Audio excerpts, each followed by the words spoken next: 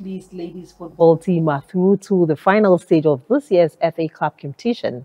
They beat Tamale-based side Pearl Pia Ladies FC by four goals to one after 120 minutes of action. Deborah Afriyie and Mary Berko registered a brace each for Police Ladies. First semi-final round of the 2022-2023 Women's FA Cup at the Dr. Kwame Chase Sports Complex at Abrankese in the Ashanti region was between Police Ladies and Pearl Pia Ladies FC. The first half produced no goal. Back from the break, Ghana Police opened the scoring on the 53rd minute through Deborah Afriyie. Georgina Aisha equalized for Pearl Pia Ladies on the 85th minute.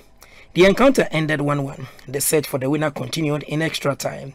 Mary Berko beat off the offside trap to put police ladies in front on the 91st minute. The referee was on the score sheet again on the 97th minute, making it 3 goals to 1. Mary Berko put the game beyond the reach of Pearl Pia ladies on the 100th minute mark. They held on to seal victory by 4 goals to 1. They have progressed to the final.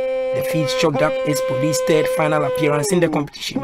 Police were the inaugural winners of the competition, beating Fabulous Ladies by two goals to one in 2016.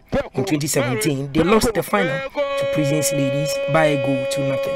Oh, Mary Peckle, Mary Peckle, Mary Peckle, when you're from Kono and police ladies.